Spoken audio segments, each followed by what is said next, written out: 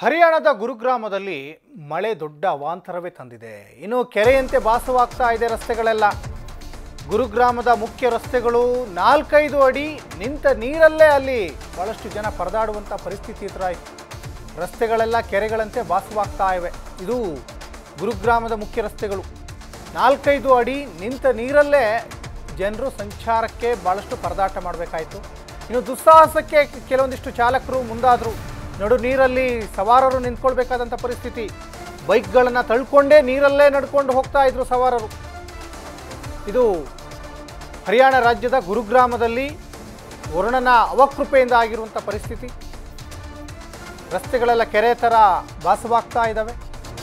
ಎಲ್ಲ ರಸ್ತೆಗಳು ಸಂಪೂರ್ಣವಾಗಿ ಕೆರೆ ಥರ ಭಾಸವಾಗ್ತಾ ಇವೆ. ಅಂದರೆ ಆ ಒಂದು ಎಲ್ಲಿ ಹೋಗಬೇಕು, ಏನು ಮಾಡಬೇಕು ಅನ್ನೋದೇ ಗೊತ್ತಾಗ್ತಾ ಇಲ್ಲ. ಆ ರೀತಿಯಾದಂತಹ ಪರಿಸ್ಥಿತಿ. ನೋಡಿ, ದೃಶ್ಯಾವಳಿಯಲ್ಲಿ ಕೂಡ ಗಮನಿಸ್ತಾ ಇದ್ದೀರ. ಇದು ಹರಿಯಾಣದಲ್ಲಿ ವರುಣನ ಆರ್ಭಟಕ್ಕೆ ಯಾವ ರೀತಿ ಪರಿಸ್ಥಿತಿಯಾಗಿದೆ?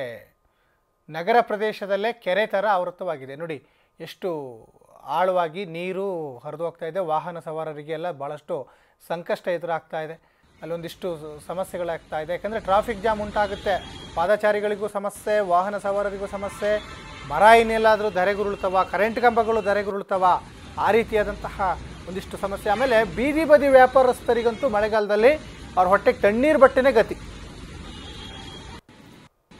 ಅಲ್ಲಿ ಒಂದೇ ಒಂದು ಬೀದಿ ಬದಿ ಅಲ್ಲಿ ವ್ಯಾಪಾರಸ್ಥರಿಗೆ ಅಂಗಡಿ ಹಾಕೋಕ್ಕಾಗಲ್ಲ. ಮತ್ತು ಬೈಕ್ ಸವಾರರು ನೋಡಿ, ಬೈಕ್ನ ತಳ್ಕೊಂಡು ಹೋಗ್ತಾ ಇರುವಂಥ ಪರಿಸ್ಥಿತಿ ಎದುರಾಗ್ತಾ ಈ ಮಳೆಯಲ್ಲಿ ಅಷ್ಟು ಆಳೆತ್ತರಕ್ಕೆ ನೀರು ನಿಂತು ಬಿಟ್ಟಿದೆ. ಇದರಲ್ಲಿ ಹೆಂಗೆ ಬೈಕ್ ಓಡಿಸೋಕ್ಕಾಗುತ್ತೆ?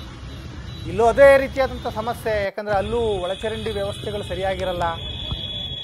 ರಾಜಕಾಲುವೆ ವ್ಯವಸ್ಥೆ ಸರಿಯಾಗಿರಲ್ಲ, ಅಸಮರ್ಪಕವಾದ ರಸ್ತೆಗಳು, ಮಳೆ ನೀರು ಹರ್ಕೊಂಡು ಹೋಗಲಿಕ್ಕೆ ಸಮರ್ಪಕವಾದಂತಹ ಒಂದು ಒಳಚರಂಡಿ ವ್ಯವಸ್ಥೆ ಇಲ್ದೇ ರಾಜಕಾಲುವೆ ವ್ಯವಸ್ಥೆ ಇಲ್ದೇ ಈ ರೀತಿಯಾದಂಥ ಪರಿಸ್ಥಿತಿ ಆಗುತ್ತೆ. ನೋಡಿ, ಕೆರೆ ಅಂತಲೇ ಭಾಸವಾಗ್ತಾ ಇದೆ. ಇದು ಯಾವುದೋ ಒಂದು ನಗರ ಪ್ರದೇಶದ ಮುಖ್ಯ ರಸ್ತೆ ಅಂತ ಅನಿಸೋದೇ ಇಲ್ಲ ಮಳೆ ಬಂದಾಗ.